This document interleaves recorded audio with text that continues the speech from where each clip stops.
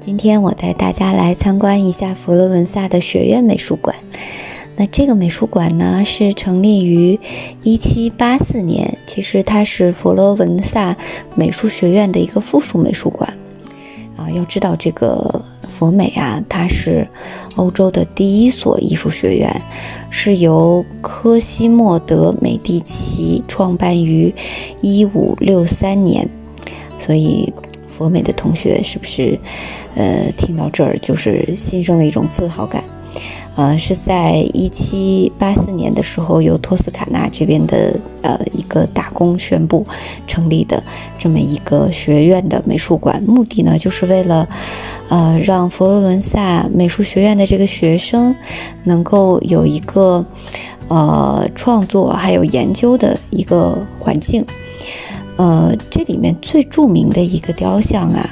就是大卫像。待会儿我们在视频里面就可以看到。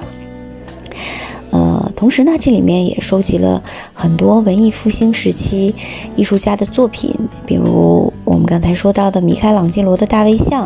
啊，还有波提切利的油画，等等等等。你来到这儿，你就会看到啊，很多很多的这个作品，呃，让人叹为观止。来一趟啊，就是浑身就沾满了这种艺术细菌。呃，其实这个大卫像啊，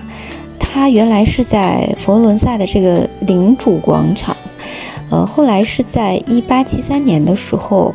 被搬到了就是现在的这个美术馆。呃，目的呢就是为了嗯，不再让它就是呃风吹雨淋受到侵蚀。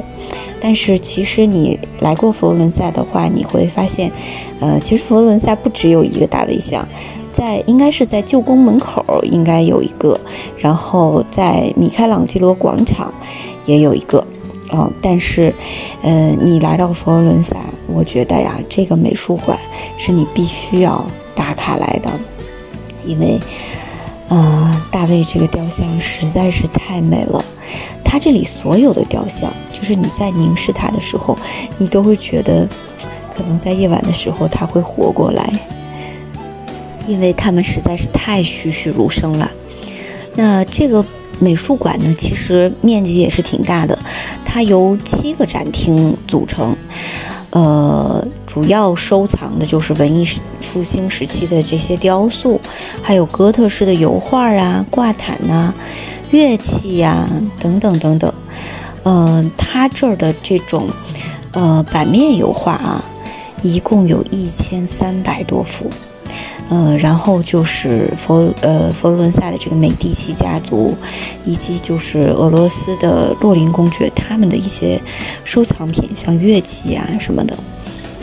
这个美术馆全部参观下来的时间呢，差不多是。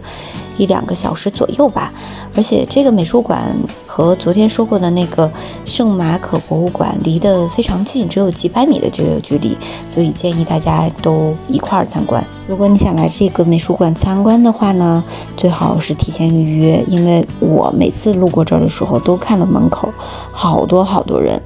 预约的方法，我可以呃过几天拍个视频告诉大家。还有就是一个大家可能目前用不上的好消息，就是五月一号起，意大利全境都不需要用绿码了。所以呃欢迎大家来到佛罗伦萨，我在这等你。